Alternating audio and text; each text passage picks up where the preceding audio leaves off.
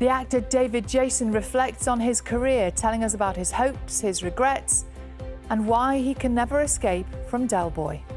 Meanwhile, it is now more than 40 years since the nation was first introduced to the wheeler dealer Derek Trotter Del Boy in the hit BBC series Only Fools and Horses, which made David Jason a very famous name. Absolutely. That character became known for his catchphrases, his one liners, one of which, of course, has inspired his new candid memoir. It's called This Time Next Year. And I went to meet him to talk about that, his message of positivity. And we had a chat in the hotel room, a very lovely, stately home Oh. near where he lives, which is where he goes and does all his writing.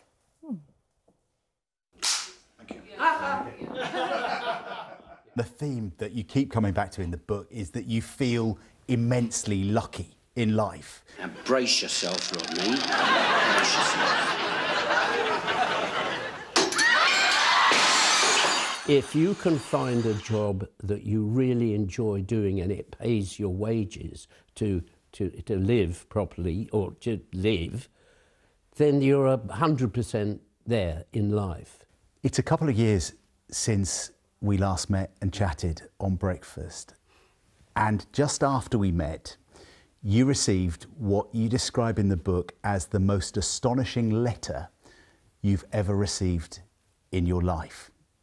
Take us to that moment when you open the envelope and talk us through where it's led to in your life. Well, yeah, it was a letter that took me by surprise, and it was from a daughter that I didn't know that I had.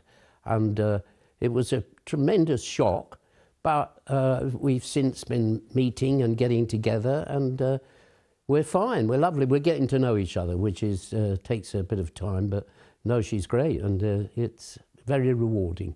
And it was a total shock. You had no idea No, that, that no, she was out there. no. You called it a, a fling with a, another actor, what, Well, nearly no, 50 yeah. years ago. Yeah, So- yeah. It was. Uh, it was a girlfriend, and that part never.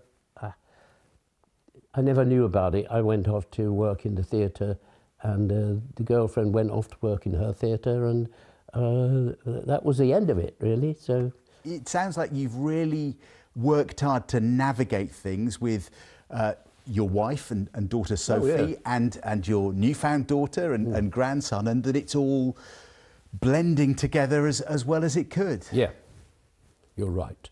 My wife has been a tremendous uh, help in this direction, and she's been extremely supportive. Without that, I don't think I could have managed, um, quite honestly. But uh, no, because of uh, Gill's uh, reaction and her ability to understand has been a remarkable achievement on all our behalfs. That sense of positivity sounds very like a certain Derek Trotter. Yeah, I'm afraid it does, yeah. Never stop believing, eh, bruv? Never stop believing. That Derek Trotter thing, who's like a, a bit of a ghost that comes along behind me like a Christmas carol. That's interesting that you're calling Del Boy a bit of a ghost in your life. What, do, do do you feel you're, you're a bit haunted by him? Well, haunted is perhaps too. No. He's with me all the time, meaning whether we call it haunted. I, I, I do say that he's on my back all the time because wherever I go, people uh, recognize me as the character, and you'll always get people saying, you know, lovely jubbly and all of that, which uh, only hangs me back, only upsets me slightly, is because that seems to be the only thing that people uh, remember me for.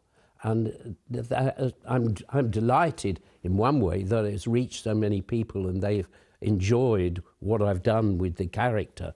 But I've done so many other things that they seem everybody seems to have forgotten about, and it's only I've only ever played Derek Trotter. I think we're on a winner here, Trig. All right? Play it nice and cool, son. Nice and cool, you know what I mean? My real uh, disappointment or regret, if you like, whichever way you want to put it, was I always wanted because when I was in the theatre, was to be a national theatre player. I always wanted to be on the stage of the National Theatre. On the South Bank. Yeah, it was the just just that romantic image of playing those in those big productions with all those big wonderful actors, and uh, it, that never never happened. So It's never too late. yes, but I wonder whether the old memory would be quite good enough. You know, I could do it with one of those. Um, what you call it, the um, Oh, the auto cue monitor, thing. Auto cue. Yeah, well, some of them do that now, Yeah. don't they, for being prompted? Yes. Yeah. Good. Hey. Uh, sorry. Yes. National Theatre. I'm available. So, David Jason, fantastic talking to you on Breakfast as ever. Thank you so much for your time. Thank you very much, John. I mean, they'd be mad not to sign him up, wouldn't they? He's brilliant, isn't he? He still loves it. He's That's the still, thing. and he's still ambitious. Yeah. 84, I think he is, nearly 85. Wow. But he still just exudes this absolute joy about the business he loves. And, you know, we tend to think of him as, as a TV star, but he's an actor. Yeah, he's a A- As he clearly, actor. You know, yeah, that- clearly wants to say. yeah. And interesting, he says he's a little bit haunted by Del Boy. But mm. you watch those clips and they are so good. Yeah, I know. And, and, you know, but it must get a bit of annoying. Somebody says, lovely jubbly to you 20 times a day, everywhere you go. Surely not. yeah, I think they would. I love the way you match jackets with him, the Yeah, tweed. It's all thought through. so Yes. All thought through. Uh,